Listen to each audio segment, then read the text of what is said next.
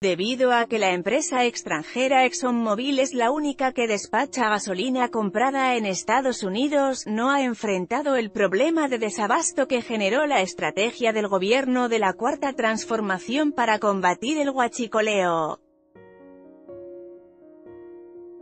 A dos años de que llegó ExxonMobil a México, anteriormente conocida como Soconiva Oil Company, Luis, encargado de una estación de servicio ubicada sobre el eje Juan Pablo II, en Guanajuato, comentó que se les terminó la gasolina tipo Magna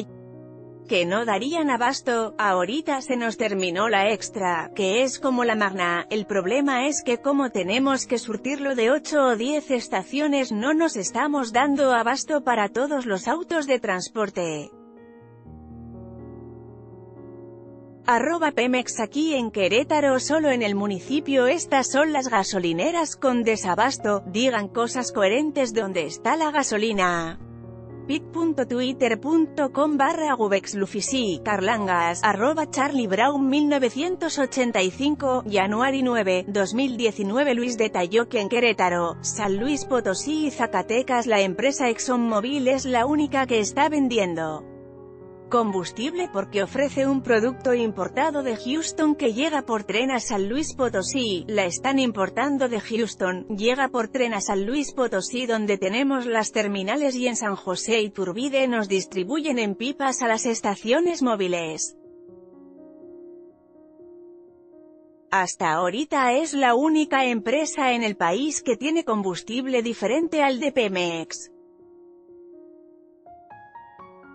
De acuerdo con el financiero, ante la situación de falta de combustibles que incrementa la demanda para la empresa ExxonMobil, el día de ayer comenzaron a mostrar desabasto en algunas de sus estaciones ubicadas en la zona norte de la capital queretana.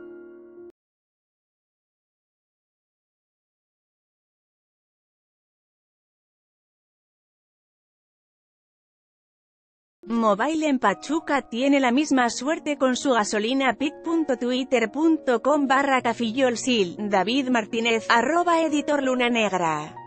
Januari 10, 2019 La Unión de Estaciones de Servicio del Estado de Querétaro, UESCRO, informó que al menos 90 gasolineras de la entidad carecen de algún producto o no están en servicio, y en el caso de Mobile la empresa no le permite a sus despachadores que vendan gasolina en garrafas.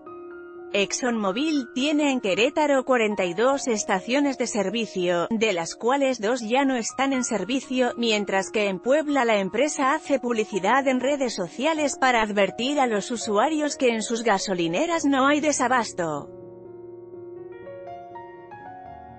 Con información del financiero, El Sol del Bajío y el gráfico foto, tomada de móvil Australia anímate a comentar. Queremos saber tu opinión. Comentarios Powered by Facebook Comments